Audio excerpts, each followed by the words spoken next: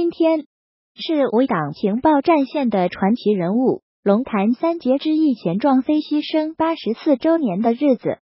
周恩来总理曾经多次说过，如果没有钱壮飞，我们这些人早就不在了。他的情报曾经挽救过革命，早期在上海的党中央机关帮助周恩来等党中央多名领导人顺利撤离。他获取的密码本。帮助红军顺利粉碎多次国民党军队的围剿。他设计的纪念塔至今仍高耸于江西瑞金。一九三五年三月三十一日，跟随红军长征的钱壮飞，在国民党军队的飞机轰炸中失踪，后被确认为壮烈牺牲，年仅四十岁。隐蔽战线上，埋藏了一个又一个无名英雄的身姿。当战争年代的硝烟散尽，钱壮飞这个名字以及他所演绎的精彩，应当穿越历史，永远留在我们心中。从医生走上了革命道路。钱壮飞出生于一八九六年，年幼时聪明伶俐，六岁就进入洋学堂读书，十二岁考入湖州府中学堂，十七岁那年。钱壮飞家道中落，无奈离开省立第三中学原湖州府中学堂，只身赴北京求学。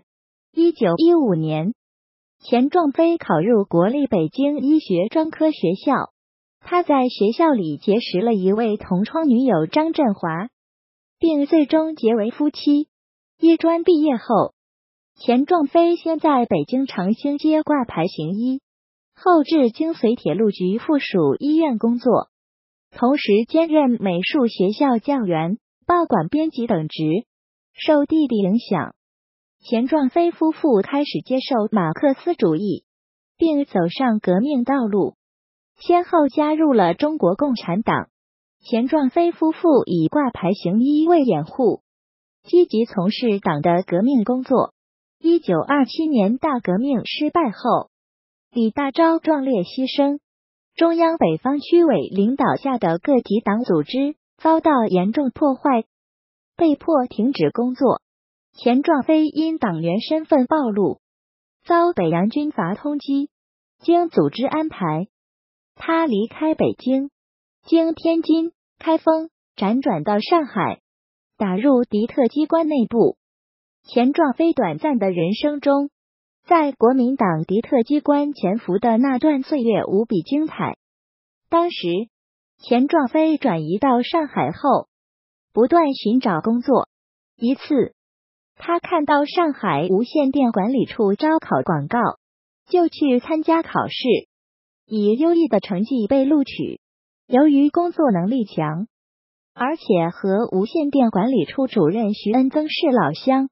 钱壮飞很快就进入他的视线，并得到他的赏识。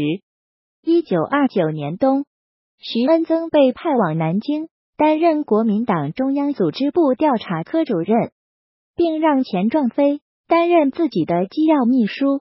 钱壮飞立即向党组织汇报了这一情况，中央特科随即决定派李克农和胡底一起打入敌特机关。经钱壮飞安排。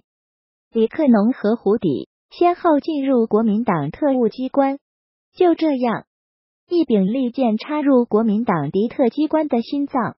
他们也并称为龙潭三杰。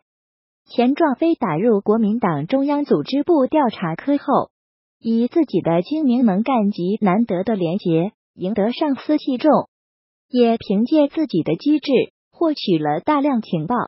不过，特务头子徐恩曾虽然欣赏钱壮飞的才华，但还有防范。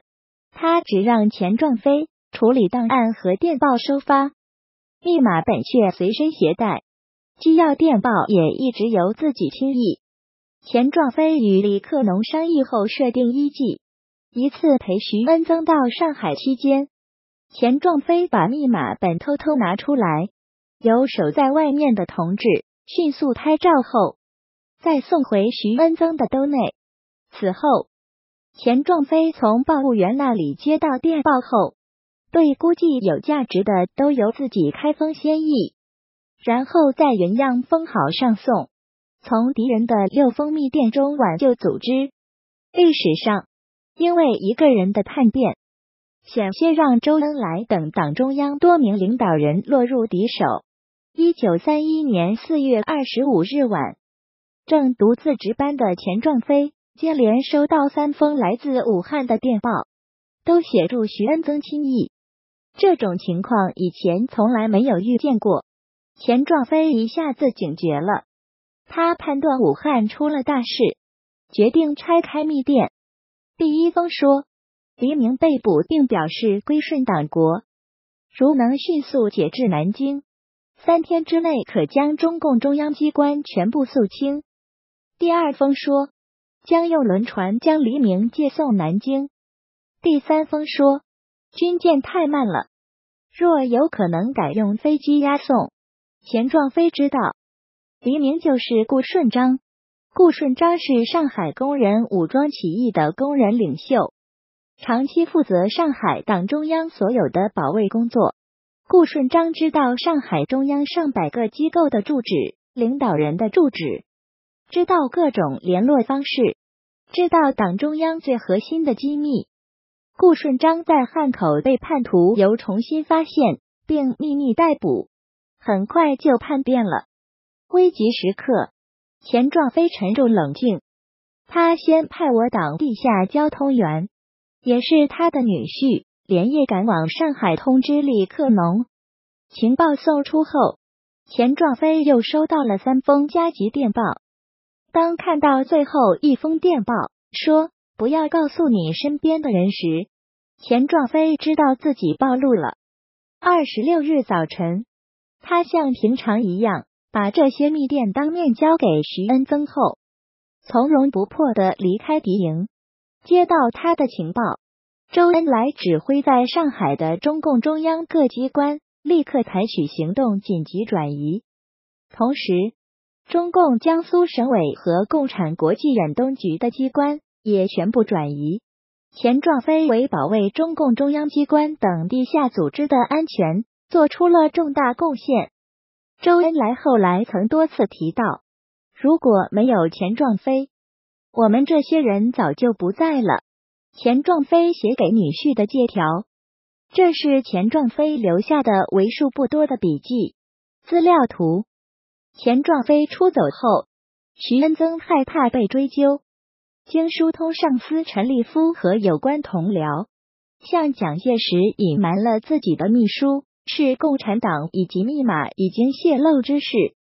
这样，国民党当局长期未更改密码。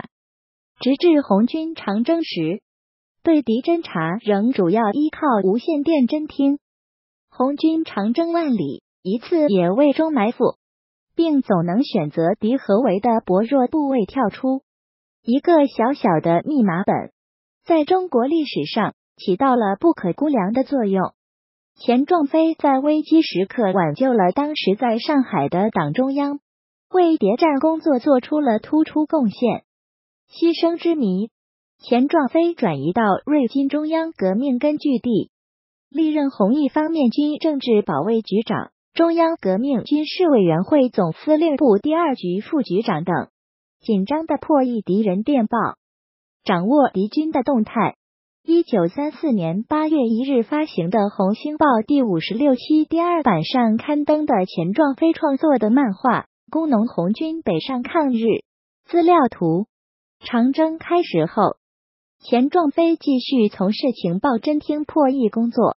他根据破译的情报，绘制敌人军事行动图示，使中革军委迅速准确掌握敌情，从而掌握主动，制定克敌制胜的战略战术。